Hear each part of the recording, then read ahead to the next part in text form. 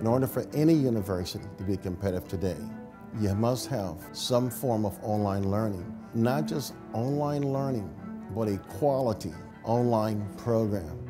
Teaching online is a lot more rewarding if you think about it as its own thing. What can you do online that you couldn't do in a face-to-face -face class? And if you go towards your online teaching with that attitude, you can find a lot of really creative, challenging, interesting things that you can do in your classroom. Teaching ultimately, for me, I want it to be a meaningful experience for my students. And I've found empirically that it can be a meaningful experience teaching online.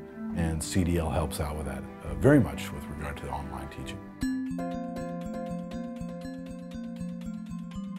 CDL has helped me in a few significant ways. I have a very good relationship with my instructional designer. If I have an idea, when I talk to my instructional designer, we can make the ideas happen. The instructional designers, they represent the side of the swimming pool. You know, we get out there and we start swimming and swimming and swimming, but every once in a while we need to go back and touch the side of the pool to let us know where we are. I have used my instructional designer for the last two years. I've never not been able to get an answer or get something solved. My first line of defense is my instructional designer, which CDL provided. We don't oftentimes have time to interact with people who are really as interested in online education as we are. So I think the best kept secret is that relationship you can develop. Online faculty need to understand that they know their content, but CDL knows the technology.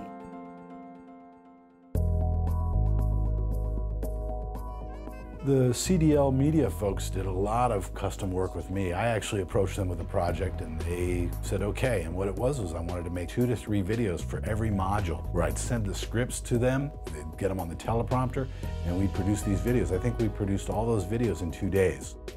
So great assistance and helping making online learning user-friendly. CDL helped me produce three videos. One in particular was for a graduate course where I introduced a unit for the students and I told them how to navigate the page. Also on the left side, under... I have received positive feedback from the media that I use in my courses from my students. They feel that the class is more complete. They tell me in their evaluations that they think that I have worked hard for them. They can feel it, that they feel special. I use several pieces of the kind of repeatable content that comes from CDL that they've provided. So I do use the information literacy modules that run out of something called Obojobo, and I use that for plagiarism so that the students have a sense of what plagiarism is as well as citing sources. It's wonderful to not have to take students through the process of citing sources. And I've also used the games. This provides some good practice for the students, and again, it's something that I don't have to build. Another thing that CDL has helped me with is a game for one of my classes where students had to learn sentence patterns. That was a lot of fun. And then for my History of the English Language class, they made me a graphic that has a medieval manuscript open in it, and it looks really nice.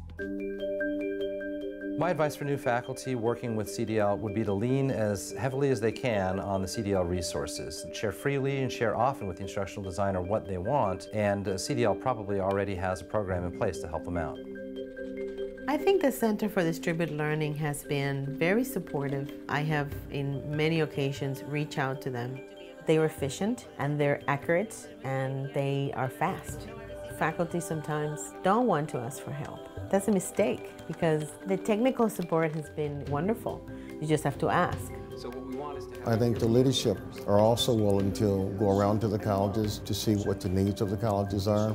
That teamwork, that relationship, that partnership, it continues on throughout the year, and for my case, throughout the years. As CDL grows, we grow.